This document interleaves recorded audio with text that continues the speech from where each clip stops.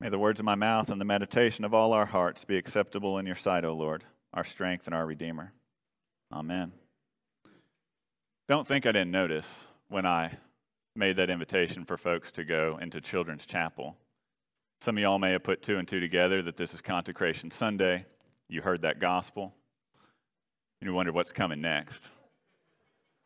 I promise you can look in that gold book. This reading was picked long before, long before.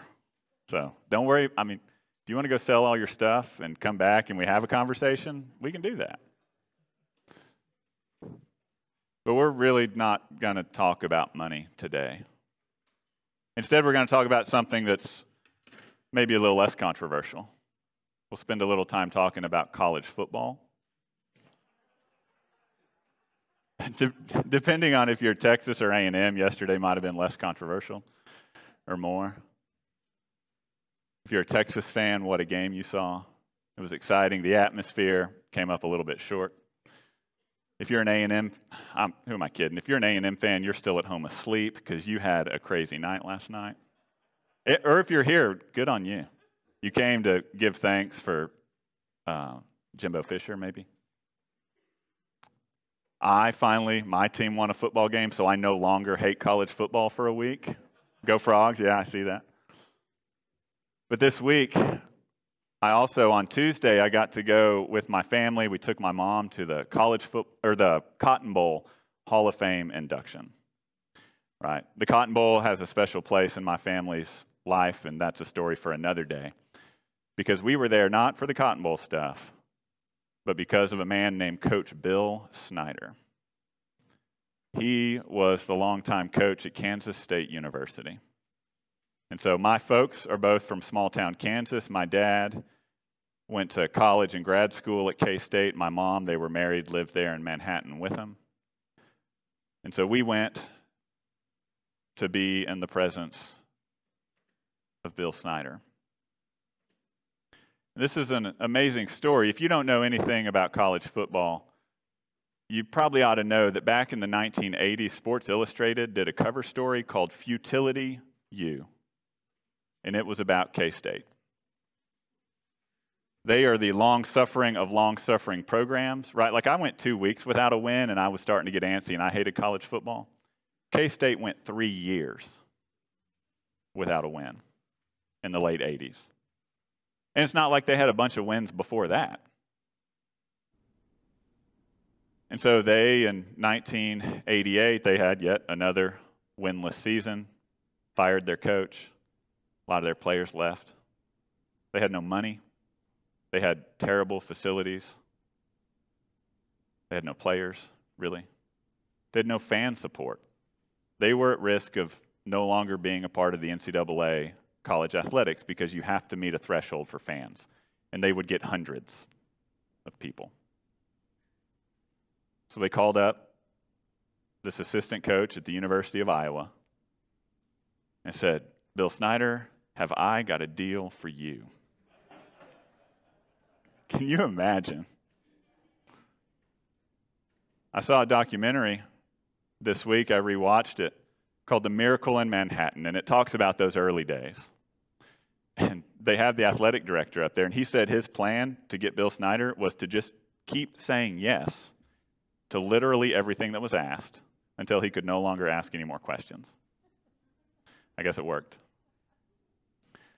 But then this documentary also talked to some of those first players. Right? You think about people who go on to play athletics in college, particularly NCAA football. They walked around their high schools like they were gods, probably. They ran their towns. I don't know what that says about us as a culture, and that's a different sermon again, but these young men had everything. And in comes this guy, and he says, Hey, quarterback, hey, lineman, how would you like to move to Manhattan, Kansas?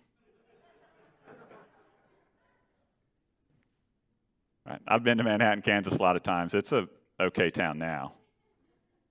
That's after a lot of investment. And all these players talked about when they set foot on that campus, They had worse facilities than they had in high school. They had fewer people in the stands than they did in high school.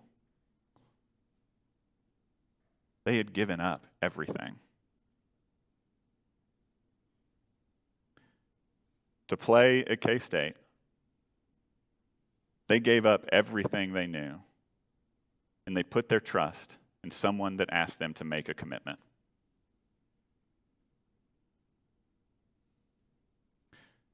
In our gospel today, St. Mark tells a story. And in this story, Jesus looks at this man and loved him. And Jesus said, You lack one thing. Go sell what you own and give the money to the poor, and you will have treasure in heaven. Then come and follow me. We all know this story. We put this story from Mark together with the parallels in the other gospel, and we give this character a name the rich young ruler.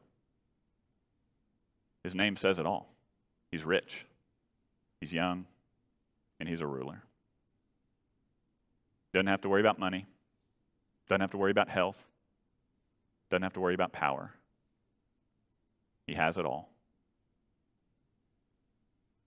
But he still comes to Jesus and asks for more. All the money, all the youth, all the power isn't enough. And I love how the gospel portrays this conversation. If someone like this comes to me and says, I have everything I need, tell me how to get more, I'm going to roll my eyes. Right? Let's just be honest. That's not what Jesus does. The gospel's clear in this interaction. The first thing Jesus does is Jesus looked at him. And this isn't a, a glancing look. The language here is staring intently. Jesus saw this rich young man. Jesus saw through this rich young man. And then it goes on, the next thing it says, and Jesus loved him. This is one of like two places in all the Gospels where it actually says Jesus loved someone. Right? We know Jesus loved everyone, and we get that. But the fact that in this moment and in this encounter, the gospel writers thought it important to say Jesus loved this rich young man. I think we have to pay attention to that.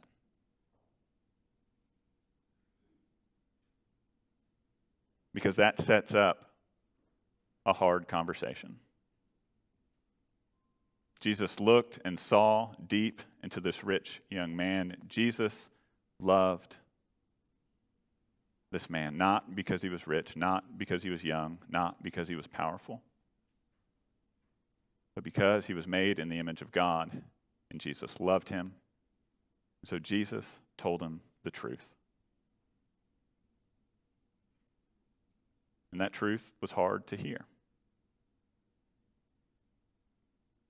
Jesus told him the truth that his life, his wealth, his health, his power, and all that that affords him.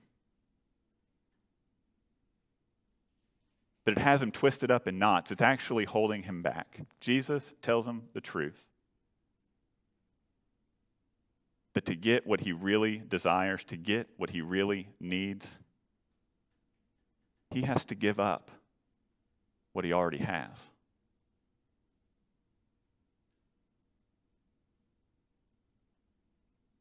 He has to give up a life determined by his position and his power. He has to give up a life determined by how much money he has. He has to give up a life determined by how he views himself above other people. He has to give up the fear of scarcity that will devour his soul. I think it's important to note that in this, right, Jesus isn't condemning this man to a life of poverty. Nowhere in here does it say, go sell all you own so you become poor too. It's not about that. But Jesus' request is so radically contrary to what the world thought back then. It's so radically contrary to what the world thinks today that we just focus on that bit, that give up everything, sell it all, give your money to the poor. We hear sermons about that. We hear stories about that. We focus on that, that we forget what Jesus actually ended with.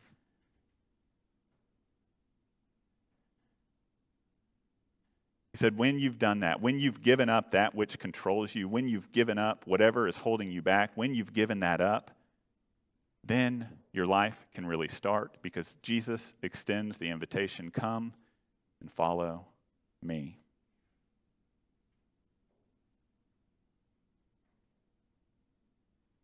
Now, I would probably be labeled a heretic if I said Coach Snyder was close to Jesus, although my folks would really agree with that statement. But it's close. Maybe not too close. Coach Snyder once gave an interview in which he talked about his recruiting process, and he talked about how early on he would have to go to these recruits and say, I've got nothing. We got no facilities, we got no money, we have no fans. But what I can give you is myself. He would tell his recruits, if you come here, I will love you, I will trust you, I will inspire you, and we will try to do something great. And the crazy thing is, if you know the story, is it started to work. K State started to win a lot of football games. Ten years after they had no money and hired this coach from Iowa, they were within minutes of playing for the national championship. They had a lot of success. At first, a couple folks bought in. Success was slow, but folks learned they could trust Coach Snyder. And folks learned that Coach Snyder loved them. So more and more recruits started lining up for the chance to play. One of those was a high school buddy of mine. He was an all state linebacker, all dist, all everything. He had it all. Every college you can think of was lining up and would show up at our school to try to talk to this guy. He had everything. Then one day he met Coach Snyder. Now I remember him sharing this conversation he had with Coach Snyder. And the thing that stuck out to him, the thing that sticks out to me, is Coach Snyder didn't tell him how great he was. Coach Snyder didn't tell him, You already have everything, and we need it. The message Coach Snyder left for him is that if you give up just being an all state football player, you can become a K State football player. If you give up everything that you think you have, you can become a part of something so much bigger. Jesus in our gospel today invites this rich young ruler to give up everything, to give up those things that give him control, to give up those things in which he finds value, to give up those things that are holding him back.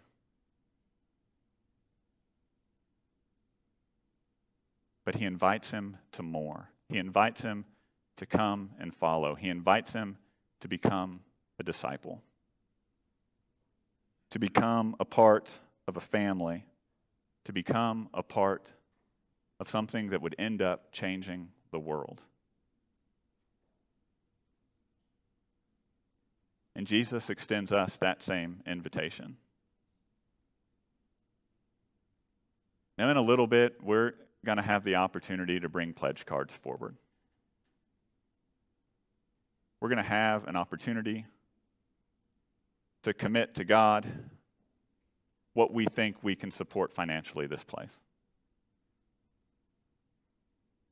And maybe God is whispering something in your ear about that.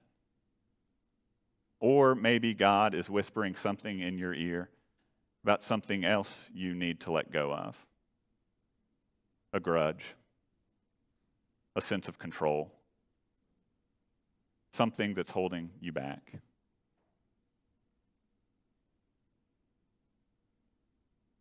And maybe one of those is a relationship with money. And maybe what we do today and what we begin through this process of stewardship can help you transform that. But all of that is between you and God. It's what God is telling you, and it's how you respond to that. And we don't respond because it's what we think the world wants. We don't respond because people come up here and tell us it's what we should do. We respond because it's an invitation from Jesus. It's an invitation to give up something. Maybe it's an invitation to give up everything. Because we know, we trust, we believe Jesus is serious. That when we give up that which holds us back, we're finally free to follow him. Amen.